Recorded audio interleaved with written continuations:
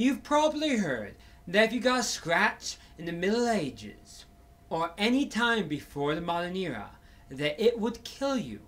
Well, that's not true.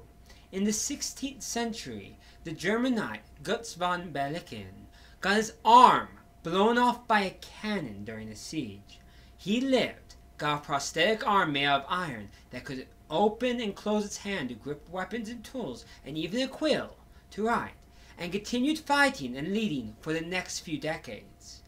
Earlier, sometime between the 9th and 7th centuries AD, a Lombardian, possibly warrior, got his hand cut off or lost in some way, so he had a knife belted to his wrist.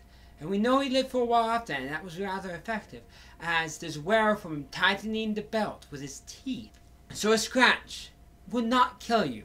It did have a higher chance of killing you than it does these days, but not that much greater. They weren't that filthy in ancient times. Even in the Middle Ages, people like say, oh, they didn't bathe. Yes, they didn't bathe in full baths of water that often, but they washed themselves down wet cloths often, as that was the way that people bathed through most of history, and how many people still bathe, and it works rather well. Also, the medical practice was not that primitive. Even going back to ancient Greece, they talked about using clean tools when working on injuries. And they talked about cleaning wounds. And these can be found still during the Middle Ages and during many different times history. I wouldn't be surprised if there was a ancient Sumerian document talking about the same things and prescribing punishments for doctors who didn't do it, as they must go through the same pain as their patient went through because they didn't do the practice right. Yes, diseases were more rampant, and cleanliness wasn't as great as they didn't understand germ, but they didn't have all the chemicals to deal with.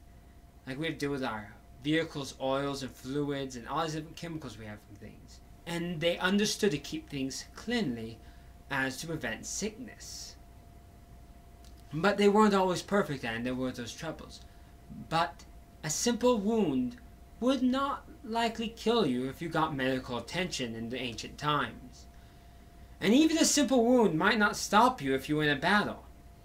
Many people even today will continue on battles with grievous wounds. There was a soldier in World War II who got both legs blown off by a hand grenade. But because of the adrenaline kept on fighting until reinforcements arrived and dragged him from the battlefield, having to convince him that his legs were missing.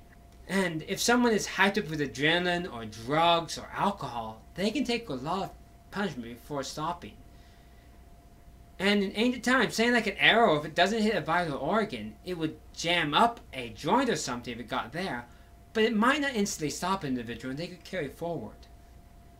So simple wounds will not kill you, unless of course maybe a gut wound. Gut wounds were hard to heal in ancient times, as all the intestines and gunk down there would get in and fester everything.